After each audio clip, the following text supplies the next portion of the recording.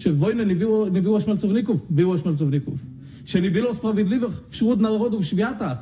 W, najwyższa liczba na świecie było. Czy byli Żydzi sprzedający Żydów? Nie wiem, to, to, nie, nie przychodzi do żadna rubryka. Ale byli. To, to, to naprawdę, y, mówiłem panu, y, y, mądrzejsze jest nie wspomnieć o tym, bo to wcale nie jest podobne, wcale nie jest podobne.